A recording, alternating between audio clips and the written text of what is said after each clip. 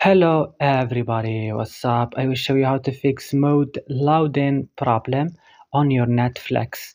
So what you have to do, go open the settings of your mobile phone and click apps option.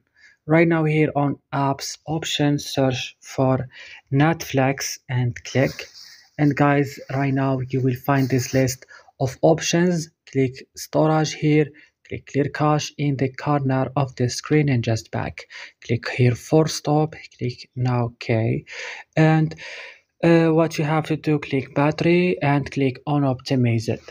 Now move to Play Store or App Store if you use iPhone. Update your Netflix. After updating your Netflix, restart your phone and that's it.